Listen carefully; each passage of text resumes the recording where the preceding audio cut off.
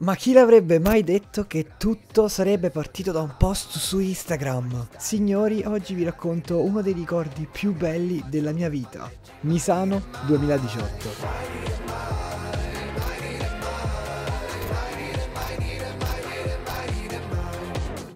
Riguardando oggi tutte queste clip registrate ormai un paio di anni fa, penso a quanto io sia migliorato e a quanto sia stato fortunato nell'aver vissuto tale esperienza. Uno degli ultimi gran premi visibili dal vivo è un Tonio verbalmente incapace di esprimersi. Fidatevi, questo ragazzo qui non avrebbe meritato tutta questa fortuna, ma solo un paio di schiaffi. Eppure ci ho creduto ed è andata bene a quanto pare. Oh, quando ti dicono carpe diem, proprio cogli l'attimo, realmente. Da dove iniziamo? Mm, ero su Instagram, scrollavo la home quando un post del team Sky Racing VR46 mi ha guardato e mi ha esplicitamente chiesto di realizzare un video promozionale per combattere l'inquinamento. Beh, avevo più di 50 fantastici osceni gameplay attivi sul canale e quindi potevo fare, cioè nella mia testa potevo farlo.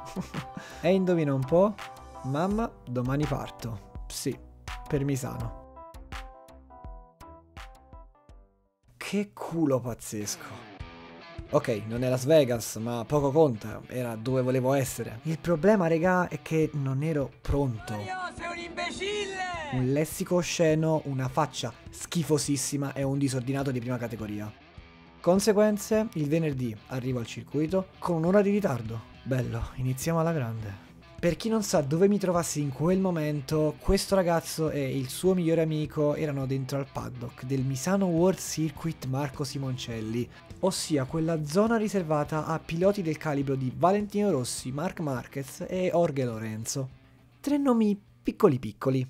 Non ero pronto, non sono pronto e non so se lo sarò mai per stare lì ma ormai ero dentro e non potevo tirarmi indietro. Anzi, dovevo continuare a mettermi in gioco, no, non potevo fare altrimenti. Mi sentivo come uno di quegli sfigati dei cartoni animati che prendono mazzate su mazzate, ma devono rialzarsi e continuare a combattere. Diciamo che in questo caso dovevo più lottare contro me stesso, però alla fine ero responsabile del mio migliore amico minorenne, volevo parlare con i piloti e dovevo combattere contro la donna sul cosa potevo registrare e cosa non. Ma questa è l'esperienza della mia vita. No, non posso non registrare ogni singolo momento, non posso non registrare ogni singolo pezzo di ogni moto. Non che mi interessi in maniera particolare, ma volevo ricordare tutto.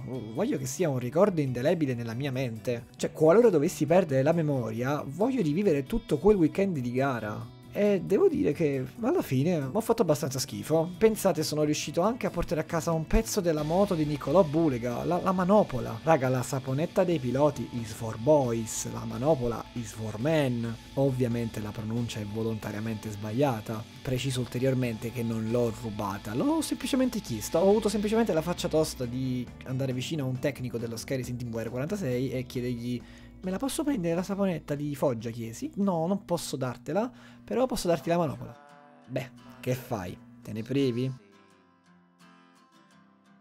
Autografi qui, autografi lì, foto con il campione del mondo, Pecco Bagnaia e intervista gentilmente chiesta da Luca Marini. Ripeto, chiesta da lui. Allora, è stata una buona qualifica, sono riuscito. L'ho detto prima, raga, non ero pronto a tutto questo. Non avevo la giusta preparazione a tutto ciò. Balbettavo e non vi nego che mi sentivo stupido. L'intervista non uscì poi questo granché.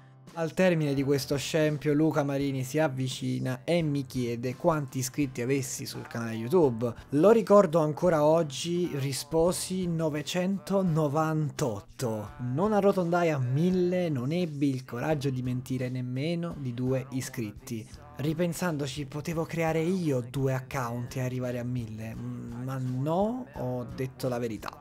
Lui mi guardò e qui arriva quello che per me è il pezzo forte e mi disse che lui ci credeva, credeva che io potessi crescere, mi, mi disse proprio che se oggi sono qui dovevo farmi due domande. Mi disse che oggi ne ho mille ma domani ne potrei avere un milione e sinceramente, cito, sarebbe bello dire che io ho creduto in te. Hai anche la prova video.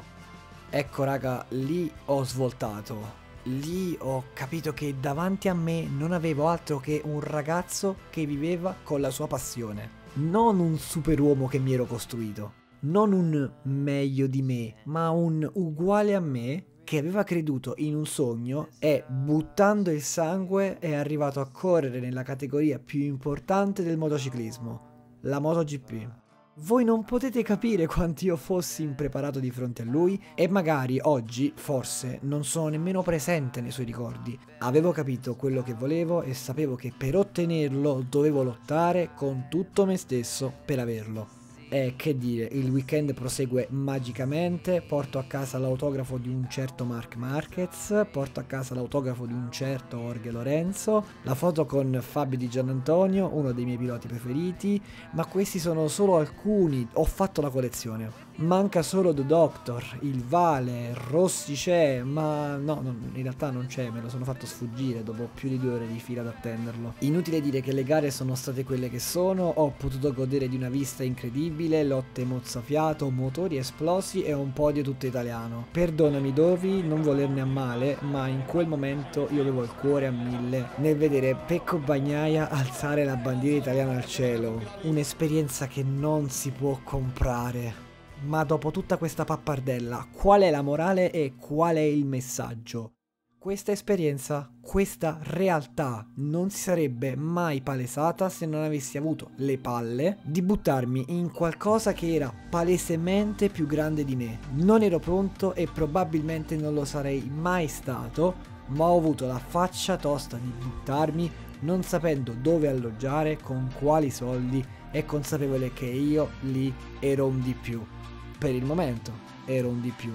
Adesso tocca a me, tocca a voi fare quel salto perché la morale è la solita classica frase del cazzo che mi ripeto sempre. Crederci fino alla fine, qualsiasi cosa accada.